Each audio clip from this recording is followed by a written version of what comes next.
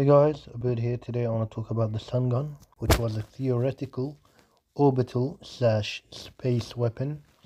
which made use of a concave mirror which was placed on a satellite to concentrate sunlight into a small area at the earth earth's surface in which it could destroy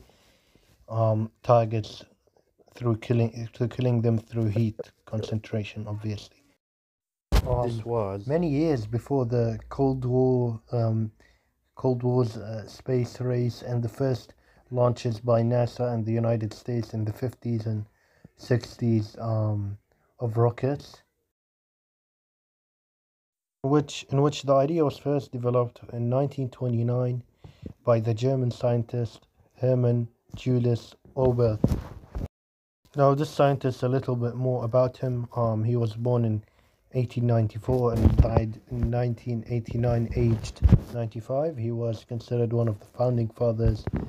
um, in rocketry and astronautics along with many scientists too. Um, he was he was actually he was born in Austria Hungary. Interestingly enough he also had the Romanian nationality and the citizenship of um, Hungary and Germany and died in West Germany. Anyways, let's focus more on the Sun Gun now and go back to 1929 in which he first developed the plans for a space station with a 100 meter wide mirror, concave mirror, which could be used to reflect these sun, sunlight back to a concentrated point on Earth. This idea in World War II a German scientists, a group of German scientists at the German Army Artillery Proving Grounds at Hillersberg began to expand on began to expand on the, his idea of creating a superweapon that could utilize and use the sun's energy. The so-called sun gun or Sonnengewehr would be a part of this would be a part of a space station 8200 kilometers above the earth scientists calculated that a huge reflector made of, of metallic sodium with the area of 9 square kilometers